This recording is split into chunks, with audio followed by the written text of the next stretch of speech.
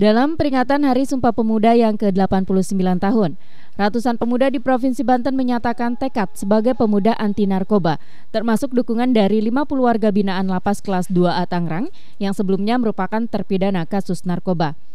Kurang lebih ada sekitar 200 kader inti pemuda anti narkoba di Provinsi Banten yang mendapat kesempatan berdialog langsung dengan Menteri Pemuda dan Olahraga Imam Nahrawi melalui sambungan video conference bersama dengan sembilan daerah lainnya termasuk pemuda yang tengah berada di negara Turki. Harapan depannya jangan berhenti terus. Jadi ini kan bagus untuk pemuda. Pemuda adalah generasi penerus bangsa, negara. Siapa lagi yang meneruskan bukan pemuda kan? Kalau mereka terkena narkoba, otomatis negara ini akan lemah. Inilah, ini termasuk bagian yang positif, yang bagus, yang harus tetap dipertahankan. Warga binaan sekarang ada 2.400. Jadi yang kasus narkobanya ada 1.000, sekitar 1.600. Jadi luar biasa hampir.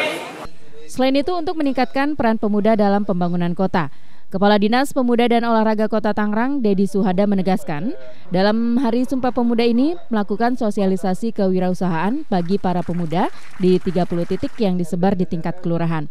Di momen uh, Sumpah Pemuda ini, di momen Sumpah Pemuda ini kami uh, apa melakukan sosialisasi kewirausahaan bagi para pemuda.